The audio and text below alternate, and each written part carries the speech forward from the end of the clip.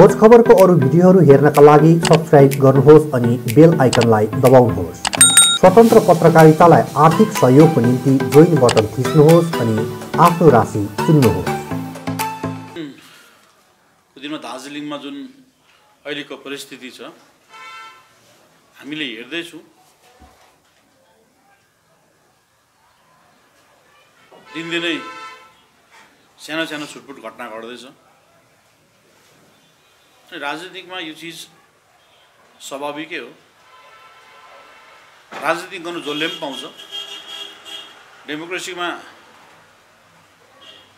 सबैको पोलिटिक्स गर्ने अधिकार छ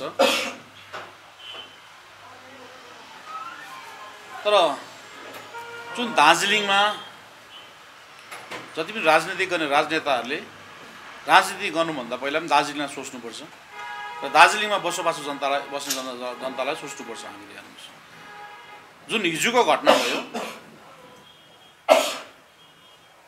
यो दुई हजार सत्रदेखिको हामीले जुन एउटा अभियान चलाएको थियौँ अब दार्जिलिङ राम्रोसँगले राख्नुपर्छ दार्जिलिङ बचाउनुपर्छ भनेर र तिन वर्षको अन्तरालमा दार्जिलिङमा कसैलाई छुरी हान्ने छुरी रोप्ने कारण हामीले बन्द गरेको थियौँ। र फेरि जुन अहिलेको पाहाडमा जुन परिस्थिति आउँदैछ पाहाड फेरि रणभूमिमा परिणत हुने हामी देख्दैछौँ। र धेरै दुःख गरेर हामीले धेरै लाइफलाई रिक्स लिएर हामी हाम्रो लिडरसिपहरूले दार्जिलिङमा शान्ति कायम गर्न सक्षम भएको छौँ। तर फेरि बिस्तारै बिस्तारै अशान्तिको सिर्जना हामीले देख्दैछौँ। म कसैको विरोध पनि गर्दिनँ। जसले पनि राजनीति गर्नु पाउँछ जसले आफ्नो झन्डा निकाल्नु पनि पाउँछ। तर हतियार लिएर राजनीति गर्नु चाहिँ बन्द गर्नुपर्छ हेर्नुहोस्। जुन राजनीतिमा हतियार लिएर राजनीति गर्छ त्यो राजनीति चाहिँ बन्द गर्नुपर्छ। हेर्नुहोस् बन्द गरेन भने हामीमा पनि रिटायर्ड गर्ने क्षमता छ। हामीमा एउटै कुरो हामी रिटायर्डमा विश्वास गर्दैनौँ। हामी दार्जिलिङलाई माया गर्छौँ।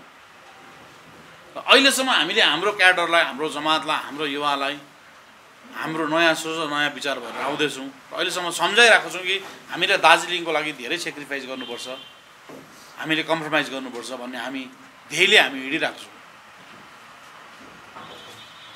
र आजदेखि चाहिँ म हाम्रो भाइहरूलाई पनि भन्छु दार्जिलिङ हामी शान्ति राख्नुपर्छ। दार्जिलिङ हामी शान्तिमा बिलिभ गर्नुपर्छ। कसैलाई पनि नलाग्नु हेर्नुहोस् तर जाइ लाग्यो भने चाहिँ नछोड्नु अब। हामी शान्तिमा बिलिभ गर्छौँ शान्ति राख्नुपर्छ हेर्नुहोस्।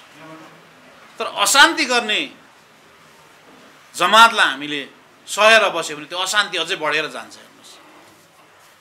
अशान्ति गर्ने जमातलाई हामीले छुट दियौँ भने त्यो अशान्तिले ठुलो रूप लिन्छ। र सुरुमा हामीले अशान्तिको जमातलाई निभाउने हाम्रोमा क्षमता हुनु पनि क्षमता छ पनि हेर्नुहोस्। त्यत्रो ठुलो अशान्तिको बेला त हामीले शान्ति बनाएर ल्यायो भने। हाम्रोमा त्यो क्षमता चाहिँ छ हेर्नुहोस्। क्षमता हामीले देखाएर प्रुफ पनि गरेको छौँ। र प्रशासनलाई म रिक्वेस्ट गर्छु तपाईँहरूले यो चिजमा कडाभन्दा कडा निगरानी राख्नुहोस्। दार्जिलिङ भन्ने कुरा सानो झिल्कामै बल्दै जान्छ अनि बलिसकेपछि निभाउनु गाह्रो हुन्छ। यो चिजलाई प्रशासनले पनि धेरै ध्यानमा राख्नुपर्छ अनि सरकारलाई म रिक्वेस्ट गर्छु दार्जिलिङवासीले शान्तिको सास फेर्दैछन् शान्तिको सास फेर्नु दिनुहोस् भन्नु म सरकारलाई पनि निवेदन गर्छु। यो लिडरको लडाइँले जनताले दुःख पाउनु हुँदैन हेर्नुहोस्। यो लिडरको लडाइँले जनताले धेरै दुःख पाएको दार्जिलिङले बल्ल बल्ल तिन वर्ष भयो राम्रोसँगले हाँस्नु पायो खानु पायो लाउनु पाउँदैछ। दार्जिलिङमा कुनै प्रपर्टी किन्दा र बेच्दा पनि दार्जिलिङले आफ्नो दार्जिलिङवासीले आफ्नो सन्चो हिसाबले फ्रिडम प्रकारले उहाँहरूले काम गर्नु पाइरहेको छ। दार्जिलिङमा गुन्डाइजम कन्ट्रोल भएको छ। दार्जिलिङमा सबै बिजनेसहरूले बिहानहरूले आफ्नो खुल्ला रूपले बिजनेस गर्नु पाइरहेको छ। कुनै पनि बिजनेसम्यानलाई अहिले लिडरसिप गरेर दार्जिलिङलाई गुन्डा ट्याक्स उठाउने बन्द भएको छ। यो संस्कार हामीले ल्याइदिएको छौँ। र दार्जिलिङवासीले अब बुझ्ने समय आएको छ। एउटै कुरो दार्जिलिङलाई हामी शान्ति राख्न चाहन्छौँ र अशान्तिको फोर्सलाई पनि हामीले हाम्रोमा निभाउने क्षमता छ। राजनीतिको संस्कारिक राजनीति गर राजनीति गर्नु पाउँछ तर यो हतियार लिएर राजनीति गऱ्यो भने त्यसको चाहिँ हामी विरोध गर्छौँ।